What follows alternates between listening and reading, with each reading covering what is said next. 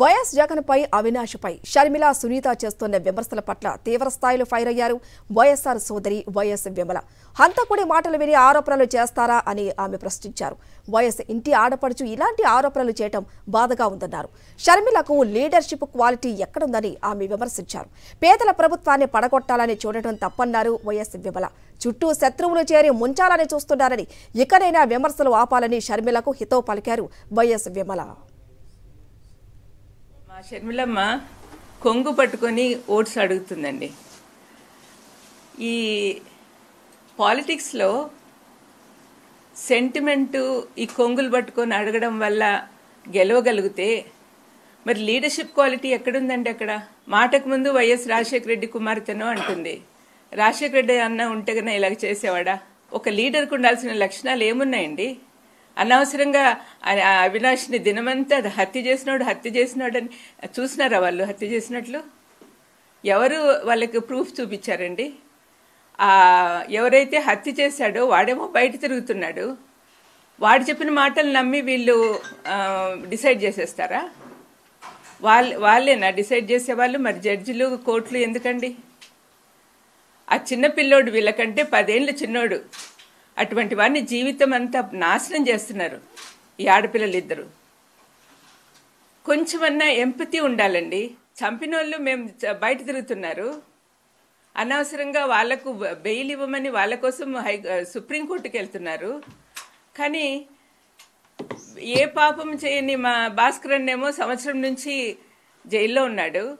అవినాష్కేమో bail bail రద్దు చేయాలని వీళ్ళు తిరుగుతున్నారు. ఇదేం న్యాయం అండి సొంత అన్నయ్యను మామూలుగా శత్రువులందరూ ఒకటయ్యి మన మీద అటాక్ వస్తే మనం ఏం చేస్తాము? ఇంట్లో వాళ్ళందరూ ఒకటవుతాం మనలో ఉన్న విభేదాలన్నీ పక్కన పెట్టేసి.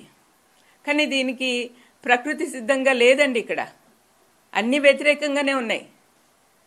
అబద్ధాల జనకుడైన అపవాది కోరల్లో చిక్కుకోయినున్నారు ఈ అమ్మాయిలిద్దరు. వివేకమన్ అంటే నాకు చాలా ఇష్టం. మరి నాకు బాధగా ఉండదా?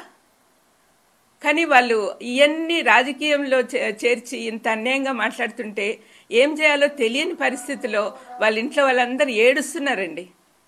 పులివెందల్లో రాజశేఖరన్న వివేకమన్న ఫ్యాక్షనిజం ఉండకూడదని చెప్పి మా నాన్న ఉన్నప్పటి నుంచే మొదలుపెట్టారు.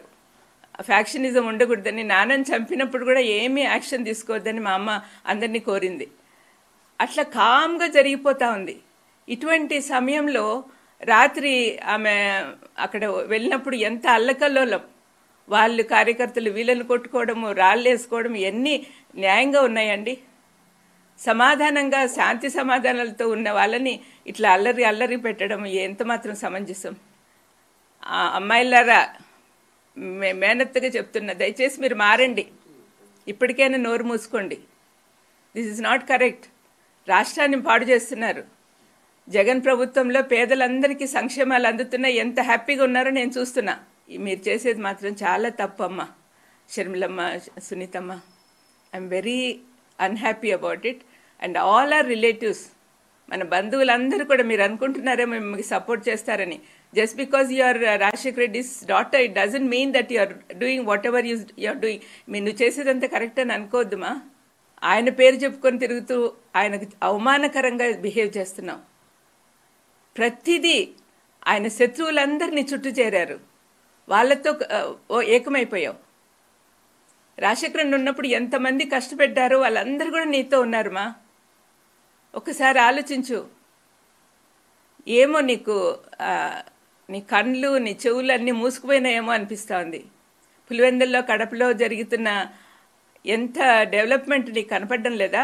మీ చుట్టూ ఉన్న వాళ్ళందరూ కూడా మిమ్మల్ని నాశనం చేయడానికి ప్రయత్నం చేస్తున్నారు. ఆ ఊబిలోకి పోవద్దండి. శత్రువులందరూ ఏకమైనారు జాగ్రత్త. మీరు నాశనం అయిపోతారు.